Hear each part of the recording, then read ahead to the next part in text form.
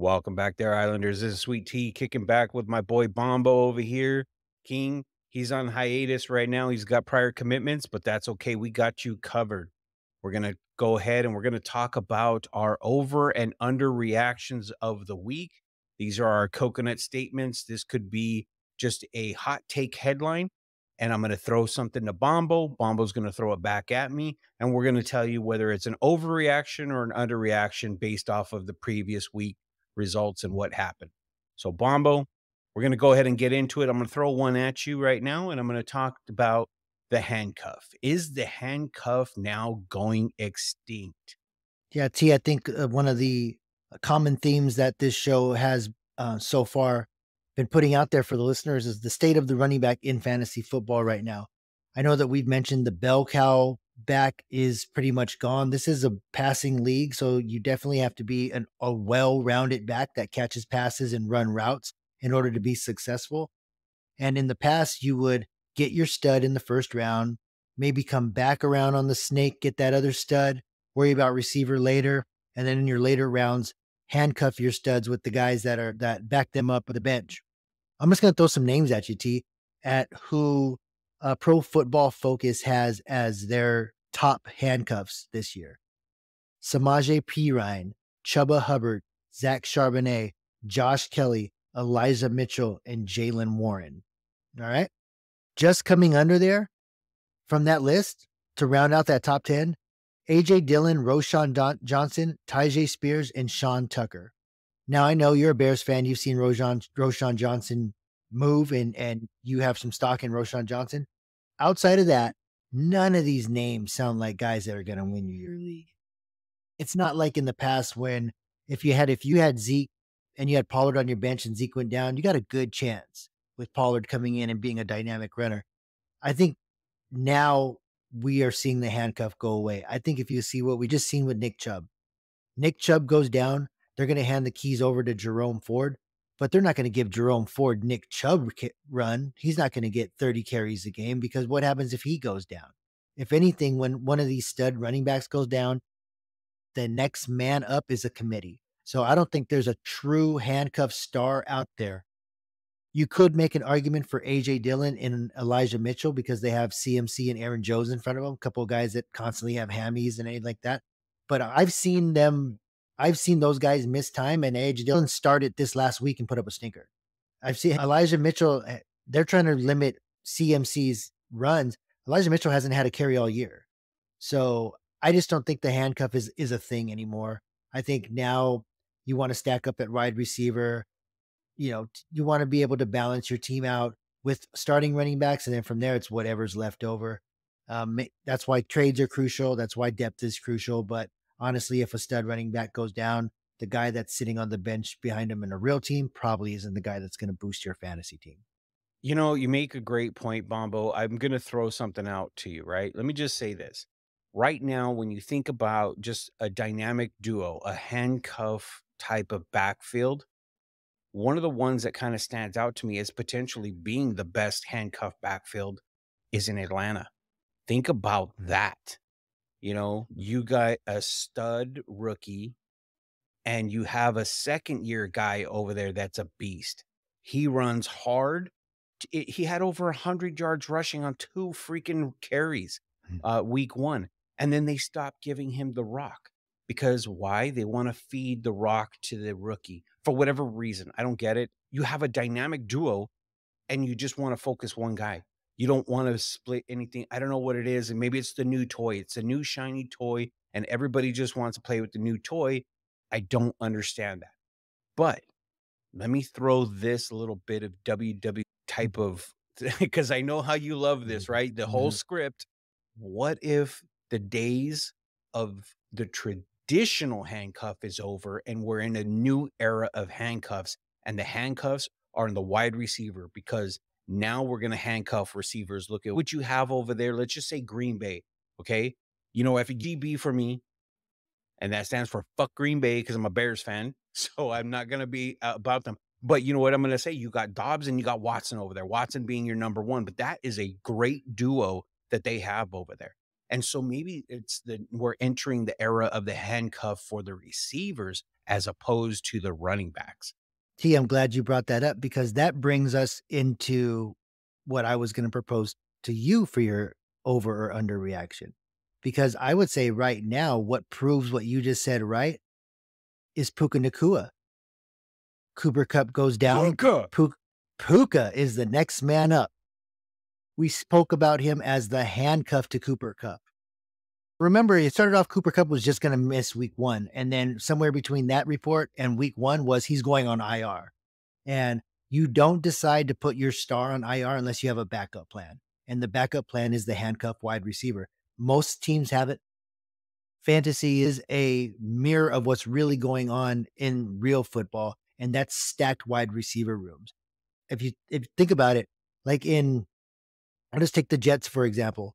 Uh there was a time earlier in camp where that that Jets room was Garrett Wilson, Allen Lazard, Elijah Moore, Corey Davis. Some of those got Corey Davis retired, Elijah Moore got drafted.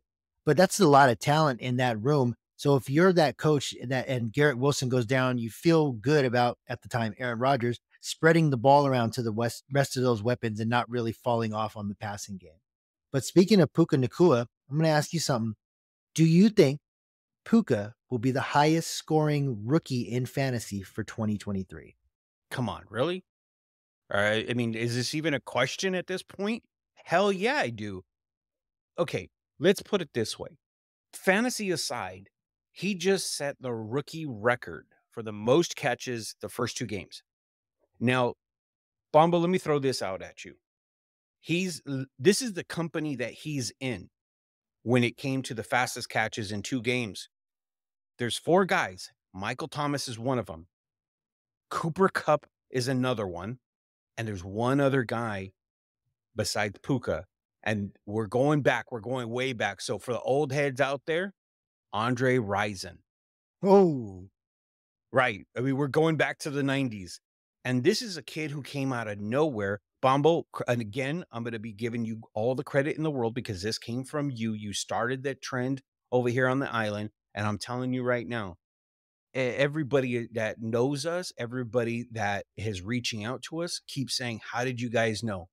How in the hell did you guys know about this guy?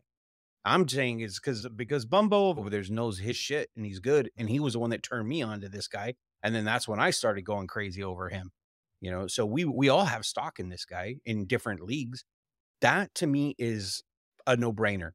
I think if Stafford just keeps feeding him the rock, we figure that Kupp is going to be out for an extended period of time. We don't know what the hell's going on with him, right? So mm-hmm. because we don't know who's the default over there, because it's not Van Jefferson. Van Jefferson's sucking ass.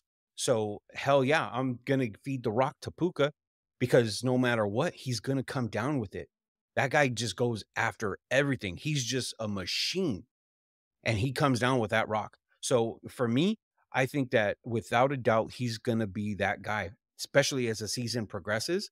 I don't see a, a guy like Bijan or any of these guys taking those away from him. So I think from a fantasy standpoint, he's going to get the most fantasy points out of this rookie class.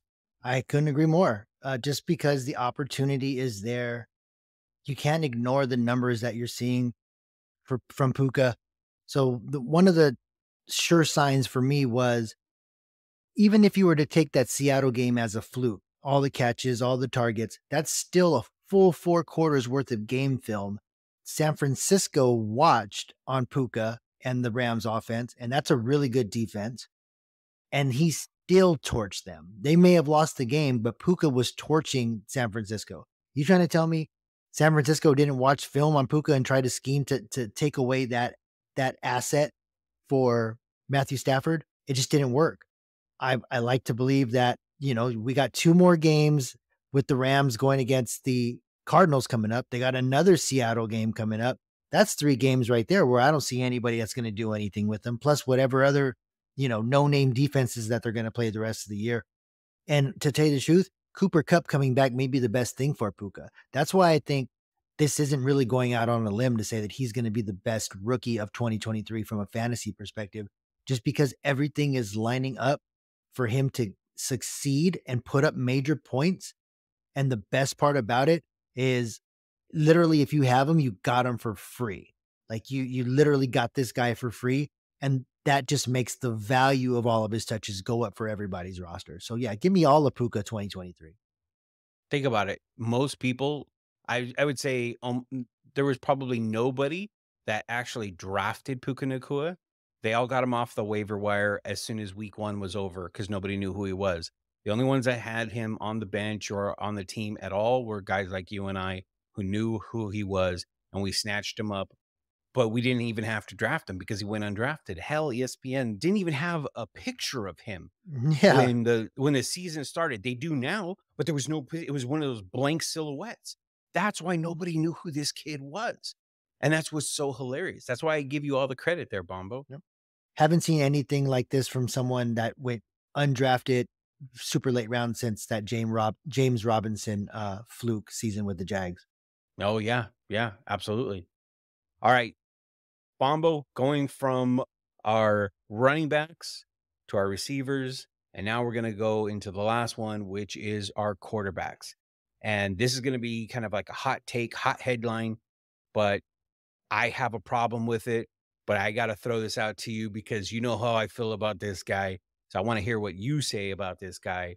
And the question to you is Is Kirkland Cousins a top five quarterback? Come on. As long as they're not playing at night in national TV, you can say yes. But primetime Kirk's a But thing. can you? way. But can you? Yeah. Because Yeah, because they're 0 playoffs count. You're right. You're right. But for fantasy purposes, Kirk Cousins is he's sneaking into the top five. I'm not ready to commit to say he's a top five, but I'm gonna throw some names at you, T. So the top three are in stone. Mahomes, Hurts, Allen. Now I know that Allen is not really been up to par. He had that one game against the Raiders. Everybody gets right against the Raiders. Um, but Mahomes and Hurts, even if Mahomes has his few games where he's not throwing for a ton, you know that he'll make up for it eventually through the season. Those three are just fantasy. You're not rolling the dice with those three. Then you get into the next tier of guys, and he's not even in there. So if we're going by preseason rankings and where, you know, these guys are steadily in the top 10 every week and before they even take a snap, we're talking Lamar, Joe Burrow, Justin Herbert, Justin Fields, and Trevor Lawrence. There's a few names you could take off that list right now just based on how they're performing. You could take you could take Justin Fields off that list right now based on the, how he's performing. You could take Lamar Jackson off that list right now based on how how he's performing. You could take Joe Burrow off that list based on the injury and from week one. That's where you start getting into who's going to take those guys' spot. And I want to say that right now, Kirk Cousins is the Kirkland brand Justin Herbert. And he's just outside of the top five. But what's going to put him close to that borderline top five, but definitely in that top 10 right now, is the Vikings are throwing it a ton. They abandon the run. The only team that abandons the run faster is uh, the Chargers. That's why I say he's the Kirkland Justin Herbert. But they're just throwing it a ton just to either stay in games to make up for that defense or to really, you know, feed the beast. They got a couple of, you know, really good receivers on the outside with Jefferson and Addison. It's just a volume based number right now. He's going to be a volume quarterback that throws it a ton. We said it before, T. How can you take a guy like Justin Jefferson as an unquestioned number one and then not at least look at his quarterback as a starting caliber quarterback for your fantasy team? But I'm not going to put him in the top five, but he's going to be floating around there. I think you got a lot of guys that could possibly be floating around there in the it, uh, just in the general vicinity. I mean, you got Tua. I mean, Tua is going to be having a great year already. Two games in, he's already has a, a great year so far. But let me throw this at you, Bombo, before we wrap this thing up. It's funny that you mentioned the Chargers when you were kind of giving your case. They're facing each other. Both teams are facing each other. Both teams has sus defenses, and they're going to be throwing that ball a ton, a shit ton this weekend. So I'm just going to throw this out there. Anybody who has stock in any of the receivers from from uh, the Vikings and the Chargers, you guys better be playing them because they're going to be scoring you a Yeah. lot of points this weekend because they have really sus defenses. Mm. I'm sorry. It- it's going to be a thing to see. It's going to be, it should be. At least it should be. So good shit, Bombo. I'm going to go ahead and wrap us up over here with that. Uh, be sure to all the listeners, if you haven't, subscribe. It's free. What the hell are you doing? You want to get good quality content like this with us fucking stumbling all over ourselves? Hey, just make fun of us, laugh at us. That's fine. Send us your hate mail. We want to hear about it. We want to read that hate mail so that we can laugh at you, maybe even shout you out and make fun of you on air. Go ahead and do that. But like, subscribe, do whatever you do, share it with your friends, tell them that, hey, look at these Mhm. idiots. you know, you got to listen to this. So, with that, we are out.